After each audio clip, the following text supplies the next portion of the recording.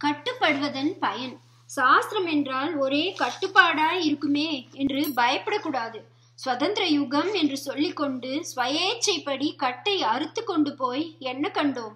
ஏதோ அவ்வப்போது ஒரு பெரிய மரக்கிளை காற்று ஆடுகிற போது அதன் விஸ்தாரமான நிழலில் துளி போல ரெண்டு இலை இடுக்கால் சூரிய வெளிச்சம் விழுகிற மாதிரி எப்போது பார்த்தாலும் இனம் தெரியாமல் பாரமாக மனசை அழுத்தி கொண்டிருக்கிற துக்க இருட்டில் இந்த சுவாதந்திரிய போக்கினால் இரண்டு கீற்று சந்தோஷ ரஷ்மி துளி நேரம் ஆட்டம் போட்டுவிட்டு போவதை தவிர சாஸ்வத சௌக்கியத்துக்கு நிரந்தர நிம்மதிக்கு இந்த சுதந்திரத்தாலோ சயின்ஸ் டிஸ்கவரிகளாலோ பொருளாதார அபிவிருத்தியாலோ நம்மால் என்ன சாதித்து கொள்ள முடிந்திருக்கிறது? துக்கத்தின் மூலத்தை கண்டுபிடித்து நிவர்த்தி பண்ணி வைக்க சுதந்திரத்துக்கும் சயின்ஸ்க்கும் சாமர்த்தியம் உண்டா?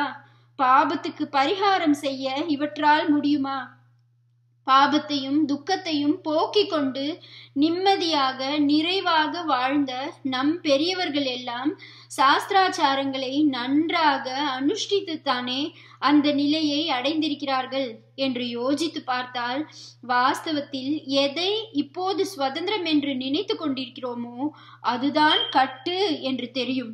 இதுதானே நம்மை நித்திய சுகத்தின் பக்கம் போக விடாமல் புண்ணியத்தின் பக்கம் போகவிடாமல் துக்கத்திலும் பாபத்திலுமே கட்டி வைத்திருக்கிறது. இதே மாதிரி கட்டாக தெரிகிற சாஸ்திரங்கள் வாஸ்தவத்தில் கட்டுமில்லை. நிஜ சுதந்திரமான மோட்சத்துக்கு வழி பண்ணுவது அதுதான். தொம்பங்குத்தாடி என்பார்கள். ஸ்தம்ப கூத்தாடி என்பதுதான் அப்படி திரிந்து வந்திருக்கிறது. ஸ்தம்பம் என்பது தூண். மேஜிக் ஷோ ஷோவில் தொம்பங்குத்தாடி வருவான். அநேக தூண்களில் ஒன்றில் அவனை ஏகப்பட்ட கட்டு போட்டு கட்டி வைத்திருக்கும். ஒரு திரையால் சொடக்கு போடுகிற நாழி அவனை மறைத்துவிட்டு திரையை எடுப்பார்கள். அந்த க்ஷண காலத்துக்குள் அவன் எப்படியோ அத்தனை கட்டுக்களையும் அவிழ்த்துவிட்டு அந்த தூணிலிருந்து விடுபட்டு அதோடு மட்டுமில்லாமல் இன்னொரு தூணில் அதே மாதிரி அவ்வளவு கட்டுக்களையும் போட்டுக்கொண்டு காணப்படுவான். அவனுக்கு அப்படி ஒரு தந்திரம் தெரியும். முதலில் கட்டின போது கை கால்களை ஒரு மாதிரி அகட்டி அகற்றி வைத்துக் கொண்டிருப்பான் திரை போட்டவுடன் அவற்றை குறுக்கிக் கொள்வான். உடனே தளர்ந்துவிடும் அது கீழே விழுவதற்குள் மறுபடியும் அதே மாதிரி அகட்டி கொண்டு இன்னொரு தூணுக்கு போய்விடுவான். இப்படி தன் அங்கங்களை குறுக்கிக் கொள்வதாலேயே அவற்றுக்கு மேலே போட்ட கட்டு விரிகிற மாதிரிதான் சாஸ்திர கட்டுக்குள்ளுக்கும். அகஸ்த் அக அகங்காரத்தை மேலே இருந்து கட்டுவது சாஸ்திரம். நாமே உள்ளுக்குள் இருந்து நம்மை கட்டுப்படுத்திக் கொள்வதற்காக நம்மை பக்குவப்படுத்துவதற்கே இந்த கட்டு.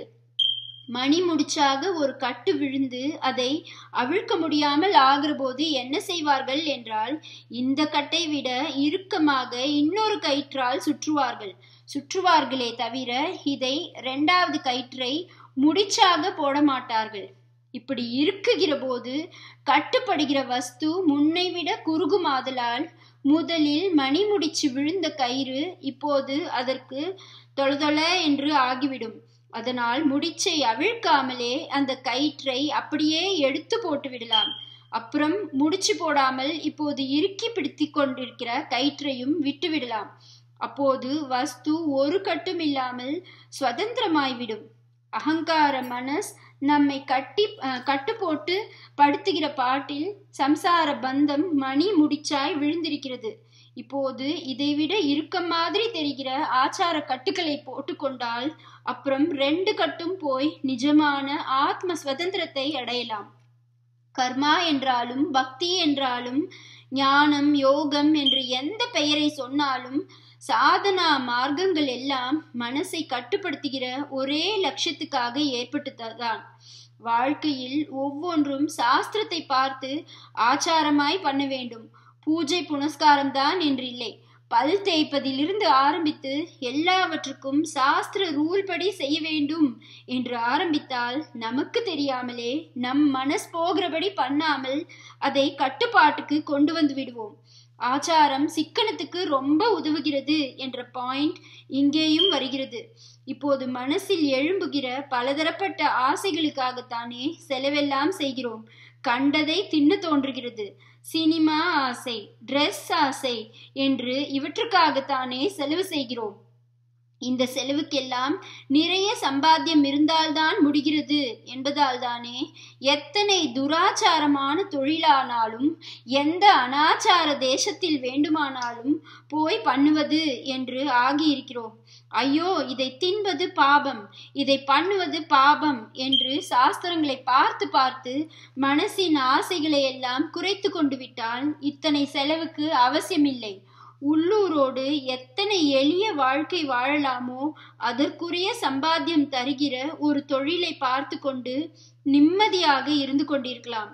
வேண்டாத பொழுதுபோக்குகள் அலைச்சல்கள் இல்லாததால் தெய்வ சிந்தனையும் ஆத்ம விசாரமும் பண்ண நிறைய டைமும் கிடைக்கும். ஒரு சேஞ்ச் பண்ண வேண்டும். வெளிலோகத்தை பார்க்க வேண்டும் என்றால் க்ஷேத்ராடனம் தீர்த்தாடனம் செய்யலாம்.